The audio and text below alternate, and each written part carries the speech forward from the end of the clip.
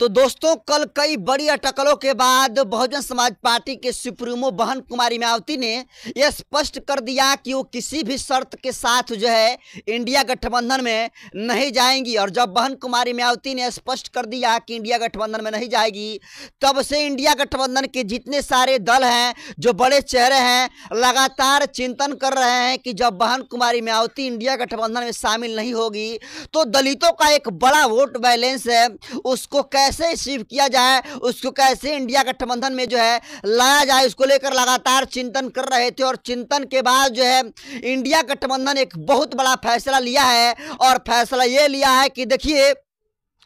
पूरे भारत में जो है बहन कुमारी मायावती के बाद अगर कोई बड़ा दलित चेहरा है तो वो है भीम आर्मी शाहजहां समाज पार्टी के चीफ चंद्रशेखर आज़ाद। रावण का और चंद्रशेखर आज़ाद जो है, मायावती जिस तरीके से दलितों के वोट बैलेंस को दिशा और दशा तय करती हैं, उसी तरीके से चंद्रशेखर आज़ाद जो है दलितों के वोट बैलेंस को बना भी सकते हैं और उनके वोट बैलेंस को बिगाड़ भी सकते हैं। तो इसलिए जो है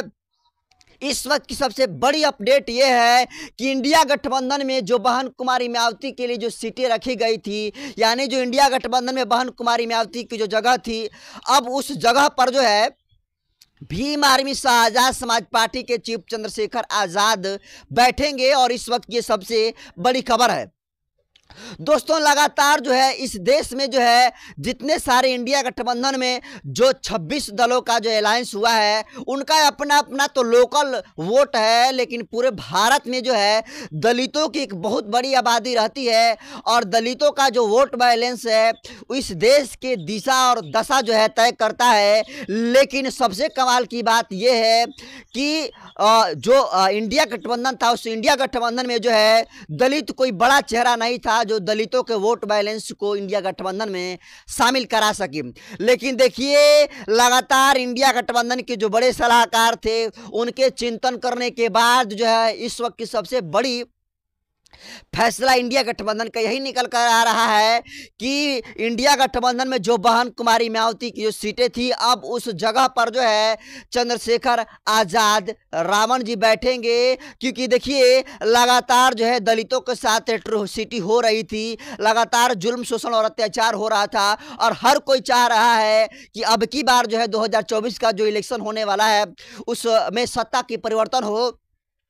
इसको लेकर जो है सभी जितने सारे विपक्षी दल है, उनका जो है नज़ारा और उनका जो नज़र है वो जो है दलित वोट बैलेंस पर था, और बहन कुमारी मायावती ने जो है, जब जो है कई अटकलों के बाद यह कह दिया कि इंडिया गठबंधन में किसी शर्त पर नहीं शामिल होगी, उसके बाद जो है काफ़ी जो है ये इंडिया गठबंधन के जितने सारे दल थे, चिंतन में पड़ गए थे कि आखिर कैसे जो है दलितों के वोट बैलेंस को जो है अपने साथ लाया जाए। तो ऐसे में जो है चंद्रशेखर आज़ाद एक बहुत बड़ा चेहरा है जो कि दलितों के वोट बैलेंस को जो है बना भी सकते हैं और उनके वोट बैलेंस को बिगाड़ भी सकते हैं। तो इस वक्त की सबसे बड़ी खबर यही है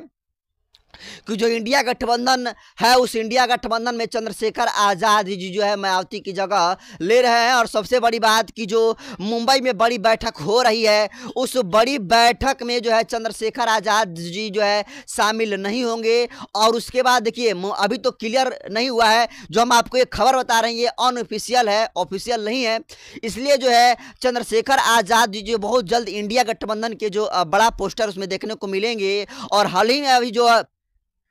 इंडिया गठबंधन का जो मुंबई में बैठक हो रही है, उस बैठक में जो है चंद्रशेखर आज़ाद शामिल नहीं होंगे, क्योंकि देखिए, इंडिया गठबंधन का जो मुंबई में बैठक, बड़ी बैठक होने वाली है, अभी तो चंद्रशेखर आज़ाद का इसको लेकर जो है चर्चा चल रही है, और चंद्रशेखर आज़ाद का कई जो है शर्त भी है, और उस शर्त के साथ चंद्रशेखर आज़ाद जो है इंडिया गठबंधन में शामिल होंगे, और मुंबई के बाद जहाँ कहीं भी अब इंडिया गठबंधन की बड़ी बैठक होगी, उस उस जो है इंडिया गठबंधन के बड़ी बैठक में, भीम आर्मी के मुखिया चंद्रशेखर आज़ाद जी जो है शामिल होंगे और ये लगातार जो है लगातार लोग ये कह भी रहे थे, जितने सारे बहुजन दल है, जितने सारे विपक्षी दल है और जो भीम आर्मी के जो समर्थक हैं लगातार वो भी कह रहे थे कि देखिए, आज़ाद समाज पार्टी जो चंद्रशेखर आज़ाद की पार्टी है, इस देश की नए नए वाली पार्टी है और ऐसे में अकेले में चुनाव अगर जो है आज़ाद समाज पार्टी लड़ती है तो कहीं ना कहीं इसका फ़ायदा जो है अन्य दलों के साथ, यानी भाजपा को फ़ायदा होगा और भाजपा जो है सत्ता की तरफ़ अग्रसर होगी तो कहीं ना कहीं तमाम जो चंद्रशेखर आज़ादी हैं, जो इंडिया गठबंधन के लोग हैं। तमाम जो नेता हैं, चंद्रशेखर आज़ाद भी चाह रहे थे कि किसी तरीके से चला जाए और जो इंडिया गठबंधन, वो भी चाह रहे थे किसी तरीके से चंद्रशेखर आज़ाद को जो है शामिल किया जाए, क्योंकि बहन कुमारी में आती तो शामिल होंगी नहीं। तो दलितों को, वोट बैंक को किसी तरीके से अचीव करना है और उसी अचीव करने के लिए जो है लगातार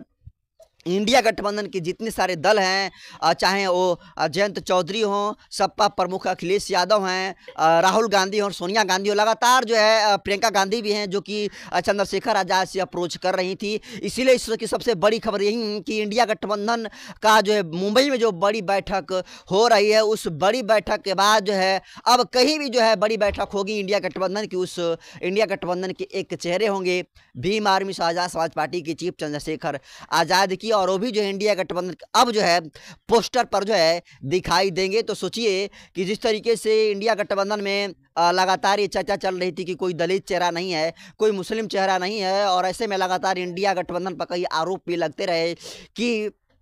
इंडिया गठबंधन जो है मुस्लिम विरोधी है, दलित विरोधी है, क्योंकि दो बड़ी बैठक हुई और दोनों बड़ी बैठक में जो है किसी भी दलित चेहरे को नहीं बुलाया गया और नहीं जो है मुस्लिम चेहरे को बुलाया गया। तो समझ लीजिए कि इंडिया गठबंधन अब तय कर लिया है कि अगर दलितों को वोट बैलेंस को जो है इंडिया गठबंधन में शामिल कर रहा है तो बहन कुमारी म्यावती के बाद अगर कोई बड़ा चेहरा है तो वो है चंद्रशेखर आज़ाद जी का। तो इसलिए जो सीटें बहन कुमारी म्यावती के लिए इंडिया गठबंधन में थी, अब उस सीट पर जो है चंद्रशेखर आज़ाद जी बैठेंगे और इस वक्त की सबसे बड़ी अपडेट है। बाकी इससे इससे संबंधित जो है इंडिया गठबंधन में शामिल होने को लेकर चंद्रशेखर आज़ाद से संबंधित कोई ऑफिशियल खबर आपके लिए अगर होगा तो हम आपको सबसे पहले अपडेट करेंगे। लेकिन ये खबर अथेंटिक है कि चंद्रशेखर आज़ाद जो है इंडिया गठबंधन में शामिल हो रहे हैं, जयंत चौधरी के साथ। और वैसे भी जयंत चौधरी को ये कहा जा रहा है कि भाजपा में शामिल हो सकते हैं, लेकिन वो भी जो है, मुंबई जो है पहुँच रहे हैं, इंडिया गठबंधन में शामिल होने के लिए, जो इकतीस अगस्त से एक सितंबर तक चलने वाला है, और ऐसे में जो है सपा प्रमुख हो गए,